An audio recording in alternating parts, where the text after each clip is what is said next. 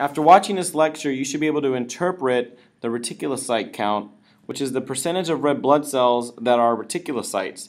Now, why is this important? Well, the reticulocyte count is desperately important in figuring out what kind of anemia you're talking about, someone who has a low hemoglobin or hematocrit.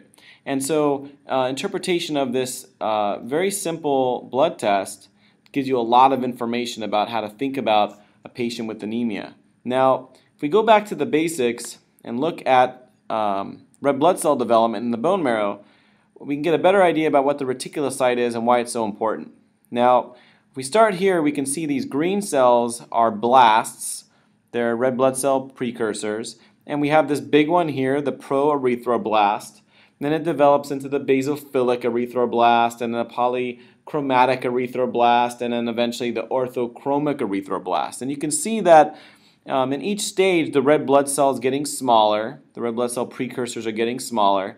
And this very important step here is the extrusion of the nucleus, which you can see is occurring in the marrow, to become a, uh, a reticulocyte uh, or a polychromatophilic erythrocyte. Now this is a baby red blood cell, um, and it's not quite a red blood cell yet because it still has residual uh, ribosomes and RNA and some other organelles, and those have to be uh, degraded um, to make uh, full room for the hemoglobin uh, that carries oxygen around uh, maximally by the erythrocyte. Now, um, you can see here that um, there's a little bit of a maturation period, uh, one day or so, roughly, in the bone marrow, and then the reticulocyte comes out into the circulation where it spends about, let's say, another day or so before it loses that residual ribosomes uh, and RNA and becomes uh, a baggie, essentially, of hemoglobin carrying around oxygen to the tissues. Now, um, what we also have to consider is that the red blood cell uh, has a certain lifespan. Um, and, and, most people like to think uh, about 100 days or 120 days or so before the membranes get oxidized, um, they get a little stiffer, and the and the spleen, um, the spleen capillary microcirculation and macrophages uh, um, remove the the senescent red blood cells from the circulation at about a rate of, let's just say, 1% a day, just to use an easy number. Now, what that means is that uh, if we want to stay in steady state uh, and, and not have our hemoglobin fall from the removal of these red blood cells, or, hematocrit, um, we need to replace those red blood cells that are lost, and the marrow then is going to be producing new red blood cells at about a rate of 1% a day, roughly. Um, and so uh, the reticulocyte that you see in the circulation is a reflection of that. And so a normal value then of your reticulocyte that you'd be measuring in the circulation would be about 1%. Okay? Uh, plus or minus a half a percent. Uh, again, 1% is kind of an easy number to remember. So if you go back and think about the um, reticulocyte count, the lab reports it as a percentage of red blood cells that are retics, a normal value is on the order of about 1%. About 1%.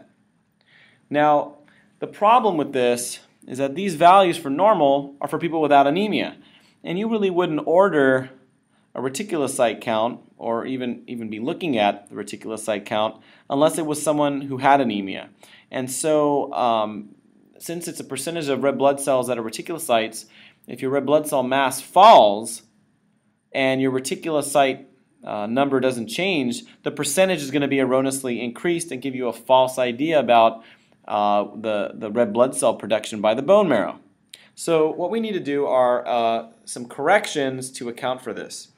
So the first correction, okay, is just a correction for the anemia. And what we would call this is the corrected, this is called the corrected reticulocyte count. I'm just going to write retic count. All right? And this is going to be equal to the reticulocyte count all right, times the patient's hemoglobin concentration or hematocrit divided by normal hemoglobin or hematocrit. All right, so depending on which one you want to use, um, you get the same general idea. Now, you might be wondering, well, we know that for hemoglobin hematocrit, there's ranges. You know, it's it's not a, a single number. And on top of that, you know, men and women have some slightly different uh, normal ranges. Um, the easy way around that is just to pick a number that's kind of in the middle or, or it's in that normal range and, and that's going to get you a general idea. You don't have to be precise here, you just have to get a feel for a correction. And so a typical number that's used is something like maybe 14 for the, for the hemoglobin and maybe like something like 45% for the hematocrit. Um, and, and different people use different numbers, but th those, are, those are good ones to, to play with. Now, the, the issue is that if we happen to have a overstimulation of the marrow that results in an, uh, such a, a massive stimulation of the marrow that these retics here that normally are supposed to spend about a day in the marrow, uh, roughly, come out into the circulation prematurely and call these sort of young retics, uh, they, they hang out in the circulation for an extra day, and that then gives you an erroneous uh, percentage because that's counting an extra day's worth of, of production when you're just looking at um, the production for, for a day, right? You have these extra retics around that are just, just lingering around for, for an extra, for pretty much, um, in this case, twice as long. So we have to take that into consideration. And so you, you probably would say, well, um, how do I know if that's happening? How can I tell these retics from those retics? Well, an easy way to figure it out is if you see nucleated red cells on the peripheral blood smear, if you had a smear and you saw nucleated red blood cells, you shouldn't see those at all. They're supposed to be uh, in the bone marrow. And if you saw those in a peripheral blood smear, then, then you can assume that these retics are coming out uh, too soon and they're falsely elevating your, your retic uh, count. Um, so that's, that's, that's, that's a, a blood smear way of, of figuring it out. Um, alternatively, um, you can just say, well, if the hemoglobin is, is or hematocrit's really low, then uh, you can just assume that that's happening. You know, that's sort of a, a, a, way of doing it without the peripheral smear. But either way, if there's a, um, a, a, really uh, robust stimulation of the marrow, we need to do a second correction, right, to account for those reticulocytes that are hanging around the circulation longer. And so we can call this the second correction. All right. And this has a special name. This is called the reticulocyte production index.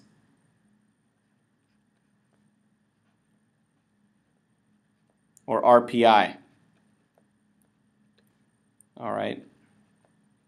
So, so the reticulocyte production index is the corrected retic percent, or retic count, divided by a correction factor.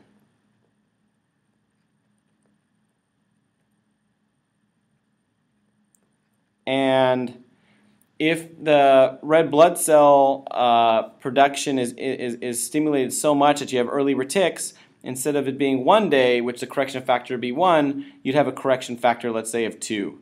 So um, this, this, you know, usually two. Okay. Uh, and people have different uh, ways of doing it based on the degree of anemia. Um, some people use 1.5 if it's mild, they use 2 if it's sort of moderate, and then they use a bigger number if it's severe. Um, a, an easy way to do it is just divide by 2, and that gives you a rough idea, and, and, and that's, that's, a, that's an easy way to, to think about it initially. Okay, so we have these two corrections, and um, ultimately what we want is the RPI, the reticulocyte production index, because that's very helpful in figuring out if uh, the anemia is a problem with production from the bone marrow Um, or, or on the other hand, if, if the bone marrow is adequately responding, this may be something like a hemolytic event. Okay, so this is, this is how you would do the corrections and how you would properly interpret the reticulocyte count. Now, let's look at an example of how you might do this. And this is an example of a patient coming in with a hemoglobin of 7 grams per deciliter, which is pretty low, and a retic count of 6%. Now, initially, if you didn't know about these corrections, you would say, wow, this is a six-fold increase in bone marrow production, right? So that's, that's very good. The bone marrow can, if it's allowed to and it's healthy, can, can, can increase the retic count eightfold, maybe even tenfold. So this is a pretty robust number if this was actually reflecting what was happening. But we have anemia, right? So we can't, we can't use this number. We need to do the first correction. We need to calculate the corrected reticulocyte count, all right? And so this is going to be our um, uh, 7 grams per deciliter, right, divided by, let's say, 14 grams per deciliter as our um, correction for the anemia times 6%, right? So we take our reticulocyte count and now we've multiplied and, and, corrected for the degree of anemia. In this case, we're using 14. It's an easy number. 7 over 14 is a half. So this ends up being something like 3%. All right, so, so what we did here was we just took the, the patient's hemoglobin and divided by a normal hemoglobin. In this case, we use 14. Could you have used 13? Could you use 12? Sure, you could have, um, but we're just trying to get a rough idea. So, so now do we need to do another correction, right? We want to calculate the reticulocyte production index. Well, in this case, we don't have a peripheral blood smear. I didn't, I didn't tell you that there's nucleated red cells, but um, the hemoglobin is less than 10, so we can assume that um, the, the, the bone marrow should be, should be, under these circumstances, kicking out reticulocytes that are, that are going to hang around, hang around longer in the circulation. So if we wanted to do the RPI, which is the second correction, right? We would take the 3% and we divide by a correction factor. In this case, um, you know, um, with this degree of anemia, may, maybe you might, maybe you would you would use a number that's greater than two, but you don't really need to do that because we can already start to see the picture here that um, this is going to be an inadequate response to this degree of anemia. Okay, so this is something like 1.5%. So this is saying that the bone marrow is just increasing bone, uh, the red blood cell production, you know, just a little bit. Um, and for someone who has such a profound anemia, um, this is this is terribly inadequate. And and we would expect that this number might even be going to be falling even more. So that this patient's bone marrow is not compensating well for um, for, for their degree of anemia. And typically, uh, when we have RPIs of less than 2, we start to think that there's something the matter with the bone marrow in terms of its production. And uh, maybe if it's greater than 3, we start, we start to say, well, the bone marrow is responding to some, some degree, and um, it's, it's probably a, a lesion of the red blood cell outside the bone marrow, um, like, like a hemolytic process. So this is a really good example to work through because it shows you how you would do the how you do the corrections and how you would get a more accurate picture about what the bone marrow is doing. Now, what if the hemoglobin, um, what if the hemoglobin was 11, you know, or, or something like that? And um, in that case, you could still calculate an RPI, right? It would just be divided by 1. The correction factor would be 1 because the typical lifespan of the reticulocyte is one day. So, so, so you could still do an RPI, um, it's, it's just that the correction factor is just 1, so it, it's no different than the number that you do with the first correction. So hopefully these examples, this particular example and a review of the red blood cell development process gives you a better idea about how to interpret the reticulocyte count and, and, and it's especially important, like we said, for anemia because we, we look at the reticulocyte production index to classify what kind of anemia um, um, the patient might have. And that concludes the lecture on interpretation of the reticulocyte count.